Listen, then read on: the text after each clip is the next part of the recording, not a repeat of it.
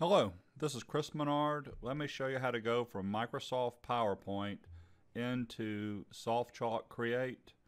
I have a PowerPoint presentation already running with the total of seven slides. By default, you cannot pull PowerPoint into SoftChalk, but what you can do is do a file save as in PowerPoint. Just remember where you put this. I'm going to stick it under Documents. Don't save it as a PowerPoint, save it as JPEG. And when you click on save, it's going to ask you, do you want to do all the slides? Click on all slides. It's going to make a subfolder under documents, and there's my subfolder. Click OK. You can exit out of PowerPoint if you want to, or just minimize it. I'm back in SoftChalk Create. File, sorry, Insert, activity, you don't want to go to insert image, that's just for one image.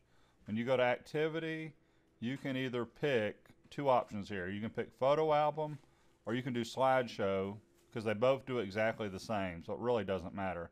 I'm to hit slideshow. Here's where you can pick a folder, select folder. That was the folder that just got made, hit open. I should have seven images, there they are. Click on OK.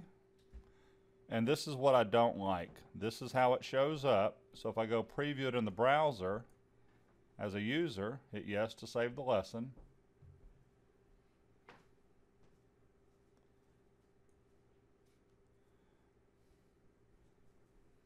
I'm in Chrome.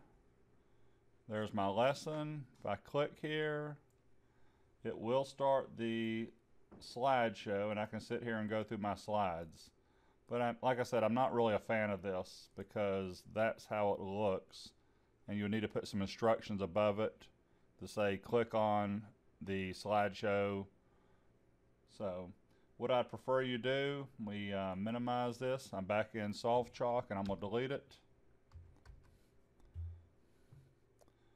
If I'm in PowerPoint, and this is a little bit more work, I've already showed you how to go from Microsoft Word into SoftChalk. So go to, back in PowerPoint, go to File, Export, Create Handouts, and it even tells you right here it's going to make it in Word. So once it's in Word, you can follow along in the video going from Word into SoftChalk. And you'd click on Create Handouts.